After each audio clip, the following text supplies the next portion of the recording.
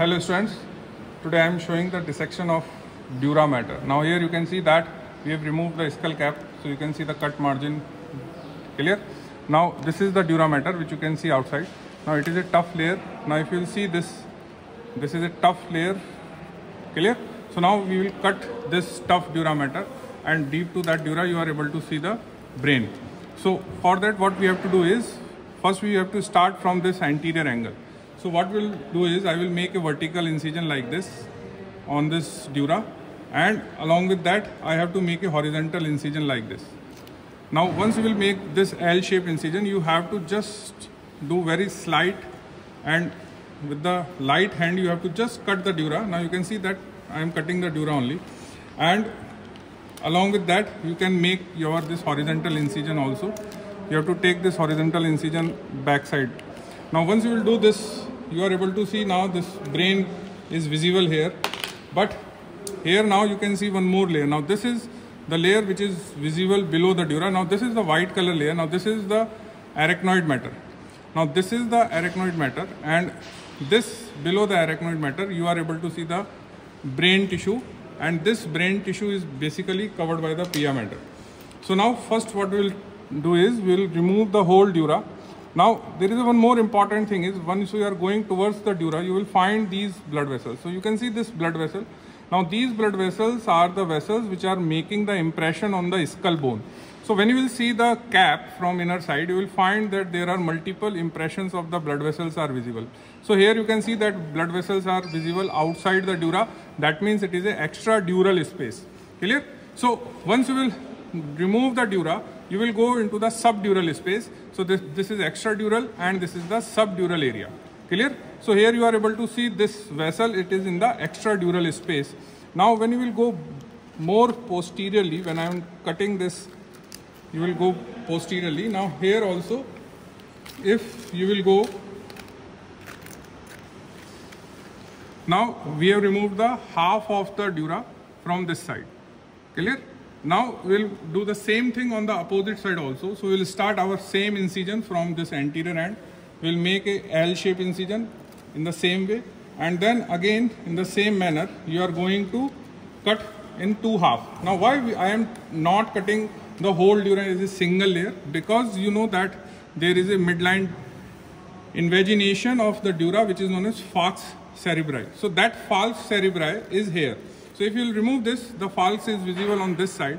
So because it is a invagination, it is going like this. I cannot cut and cannot take out as a single layer. For that I have to first remove this attachment of the falx cerebri that is on the uh, this crista galli and on the frontal crest. Clear?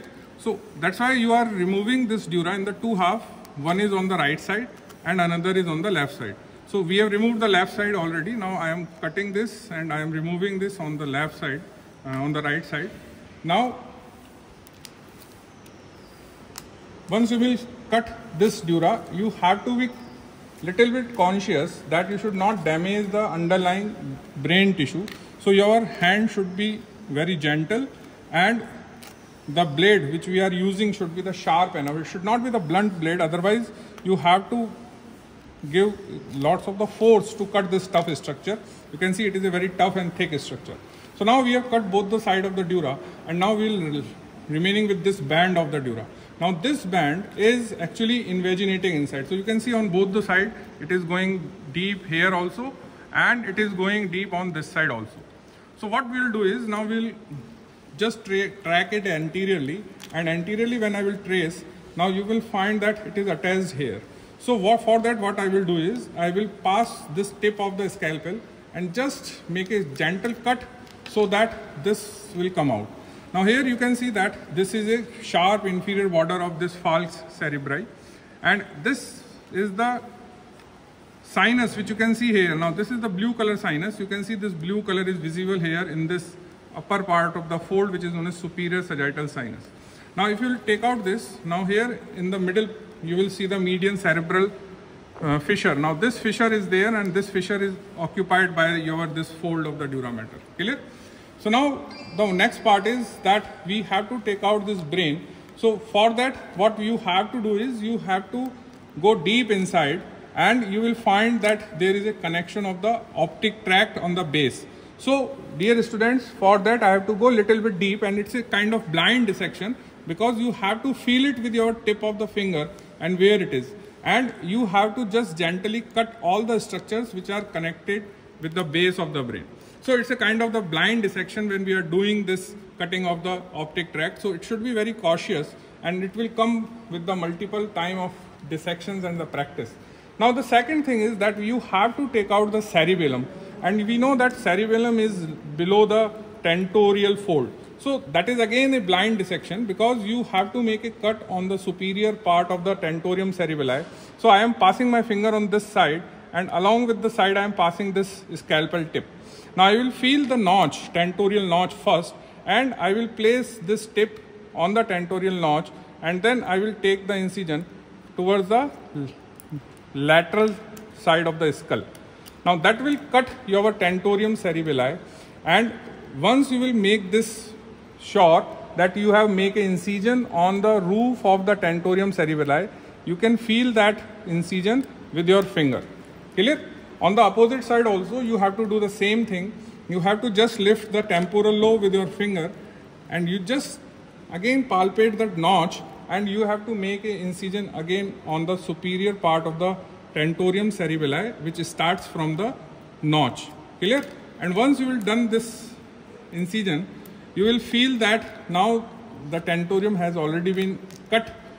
Now what is the next part is that you have to take out the brain so you have to remove the connection of the brain stem with the spinal cord. Otherwise you cannot pull the brain out.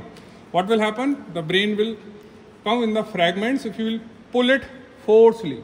So now what I will do is I will pass the tip of my scalpel into the vertebral canal and I will make a as deep as possible I will make a cut. So I am passing this tip into the vertebral canal you have to feel the vertebral canal again with your finger and it is again a blind dissection where you have to place this and you have to cut. Now once you will make a cut now this is the important thing which you always keep in mind and then you will remove this all the dura mater connections with the brain. So I am removing the posterior part of the dura and here you will have the inner horizontal fissure and that is known as tentorium cerebelli. So you have to remove this portion also.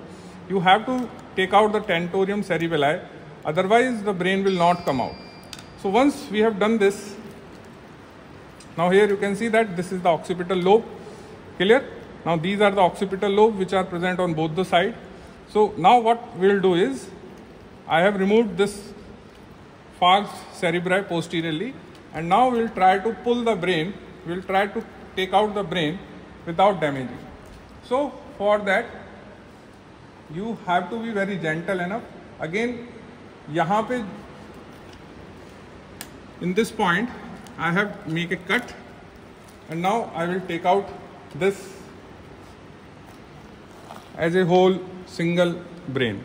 So now this is the important thing which you have to understand that when we are dissecting or we, we are talking about how the brain should take out, what are the important things which you have to understand that first again I will show you that you have once we will remove this bony cap you have to cut this into the two half keep it in the center part then you have to cut this connection of the anterior end of the fold and then you have to make these two blind cuts. Now see, this, these are the very important blind cuts because below this cut you will have the cerebellum.